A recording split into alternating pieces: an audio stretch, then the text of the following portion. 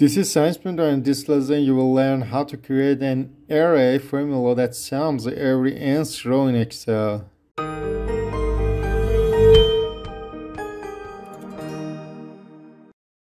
As we all know, we can apply the sum function to add a list of cells, but sometimes we need to sum every other cell for some purpose. And Excel has no standard function allow us to sum every nth cell.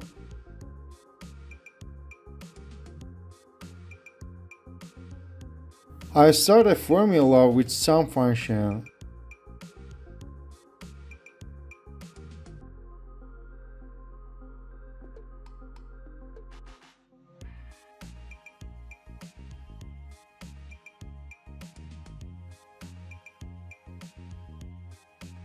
Also, the mod function gives the reminder of a division. To define row, I use row function. The row function returns the row number of a cell. I want to find reminder of data column and n.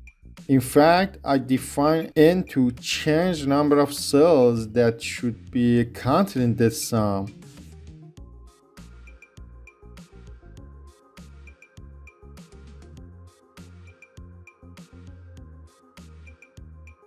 You can see that formula shows true and false based on the position of numbers that we want to use.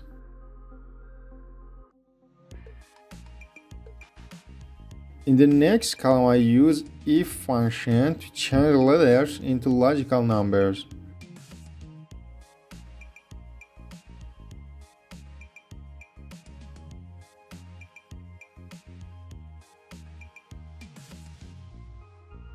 One for true and zero for false.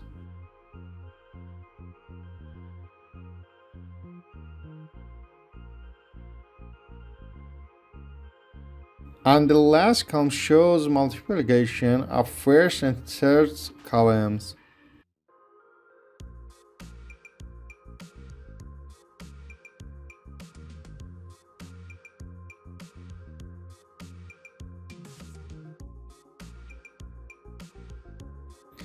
Finally, we can find sum of every nth number for our set of numbers.